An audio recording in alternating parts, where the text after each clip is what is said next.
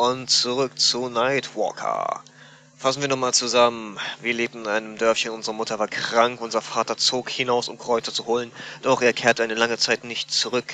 Unsere Aufgabe bestand darin, einer Gruppe von Leuten zu helfen, irgendwelche haarigen Viecher in einer Höhle zu erledigen, doch wir kamen leider zu spät. Wir konnten noch einige von ihnen erledigen, doch mh, hm, denjenigen, auf den wir aufpassen sollten, der überstand es leider nicht. Als wir jetzt wieder nach Hause kehrten, äh, ereilte uns die Botschaft, dass unser Vater verstorben sei. Das Kraut konnte er auch nicht zurückbringen und unglücklich, zutiefst in der Trauer, das waren wir und auch unsere Mutter verstarb durch diese Nachricht und vielleicht auch, weil die Kräuter fehlten. Wir wollen nun unseren Vater suchen, denn wir glauben nicht, dass er verstorben ist. Doch nun, in einer Quest nebenbei, ähm, sind wir in eine Höhle gekommen, wo wir ein Schattenwesen vernichten mussten. Und nun müssen wir schnell aus dieser Höhle heraus, denn es erholt sich nur. Ich sollte schnell wie möglich hier raus, bevor dieses Ding Jakon überwältigt hat. Was ist das? Das habe ich gar nicht mitbekommen.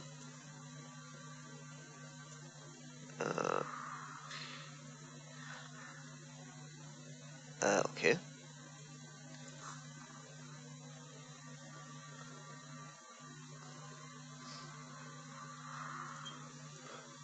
Aha, da muss ich schnell nochmal in irgendeine Richtung drücken. Ah. Raus hier. Das heißt, äh, dieser Jakun hält das Vieh zurück. Damit wir in Sicherheit sind. Es hat die Hülle zum Einsturz gebracht. Nein! Ich konnte ihn nicht retten. Ich habe versagt. Schon wieder. Das wird mir nicht noch einmal passieren. Es, es ist schon dunkel. Ich bin total am Ende. Ich brauche jetzt dringend ein warmes Bett. Zum Glück ist der goldene Fuchs nicht mehr weit entfernt. Hoffen wir, dass das kein Monster ist, sondern wirklich ein Rasthaus. Ah, das ist jetzt alles sehr ärgerlich. Bis jetzt konnten wir niemanden retten. Doch der Spieler konnte nichts dafür. Das hat die Story so vorgegeben. Unsere Mutter tot, unser Vater tot, vermeintlich tot.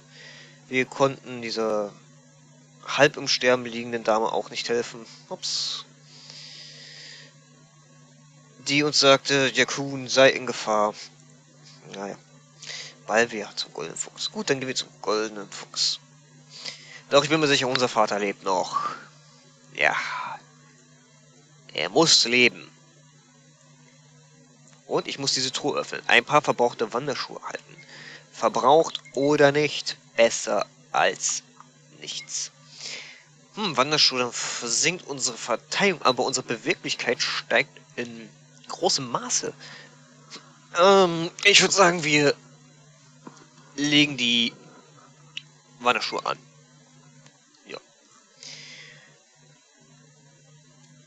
Ähm, hm.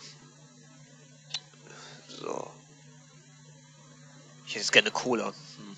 Zum Glück ist es bis zum Goldenen Fuchs nicht mehr, weil ich brauche dringend ein warmes Bett, um die Ereignisse zu, zu verarbeiten. Ja. Wo lang geht es? Ich kann einfach nicht mehr. Naja. Ah ja, der Silberrücken eine Gebirgskette, wie es aussieht. Ähm, gut, dann geht, müsste der silberne Fuchs hier irgendwo sein. Wir haben diesem Abenteurer allerdings immer noch nicht sein Hab und Gut zurückgebracht.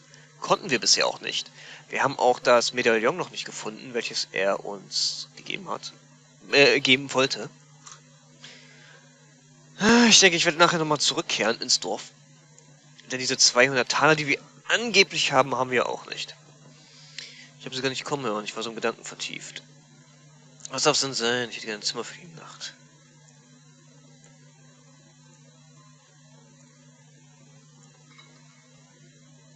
Hallo, ich habe kein...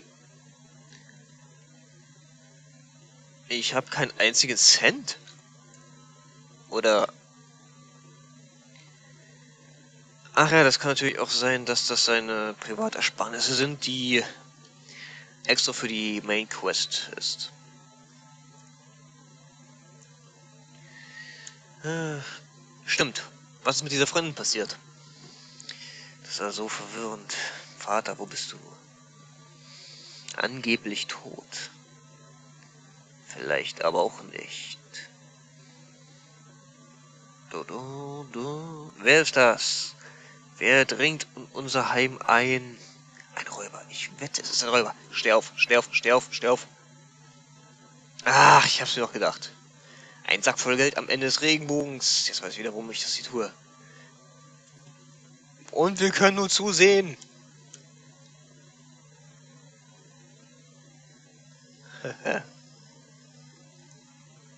Keine falschen Bewegungen. Ich bin nur das Zimmermädchen, mache bloß sauber.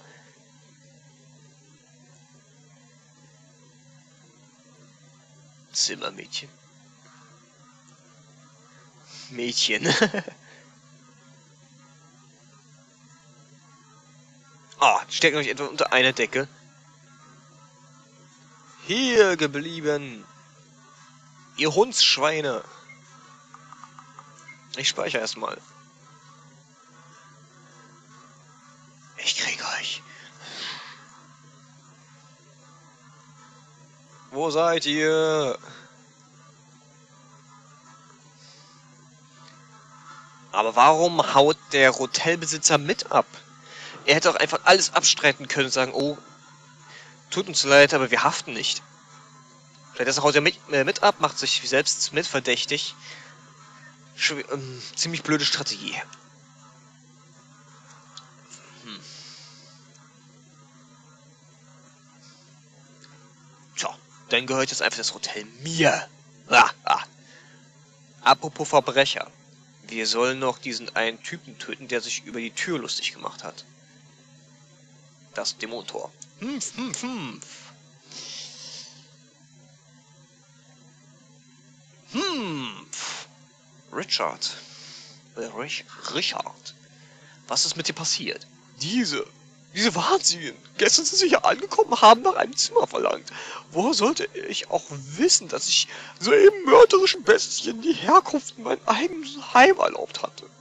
Sie sind in der Nacht in mein Zimmer eingebrochen und haben mich überwältigt. Sie haben mich gefesselt und geknebelt. Dem Kaiser zu sagen, dass sie hier gekommen sind, um mich zu retten. Das bringt mein Geld aber auch nicht zurück. Ja, was kann dieser Richard äh, jetzt dafür? Aber ich habe eine Information, die Ihnen möglicherweise behilflich sein könnte. Ja. Ich glaube, ich habe die beiden schon einmal gesehen. Es war vor langer Zeit. Damals. Raus damit. Ich habe schon einmal in Festum gesehen, wenn ich mich nicht alles täusche. Ha, Festum, da müssen wir sowieso hin. Also, vielen Dank. Trotzdem kann ich nicht mit nacktem Oberkörper hinaus. Barbaren.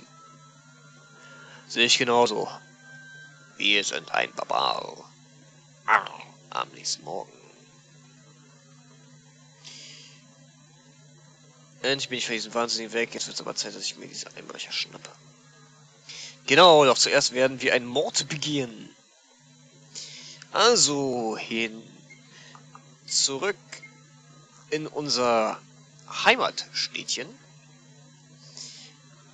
Und nach diesen 200 Talern werde ich wohl nicht mehr suchen. Die werden wir wahrscheinlich nicht erhalten. Och man, können ich zurück. Ich wollte diesen Typen noch töten. Och, also in Gradlinigkeit ist das kaum zu übertreffen. Jetzt bin ich echt enttäuscht. Ach komm, Leute, ein bisschen... Och man.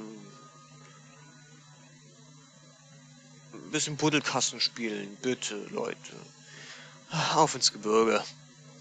Die kargen, grauen Felswände scheinen jegliches Licht zu schlucken und alles Leben verliert seine Farbe. Ja, genau wie ich, der jetzt enttäuscht ist, dass er keinen Mord begehen darf. Hm. Aber ein bisschen mehr Buddelkasten wäre echt toll. Ein unglaubliches Gefühl der äh, Einsamkeit droht Reno zu übermannen, doch sich schon einen Weg fort. Ja, ups. Und unseren Weg setzen wir dann auch im nächsten Video fort. Und ein bisschen mehr Sandbox-Play wäre toll.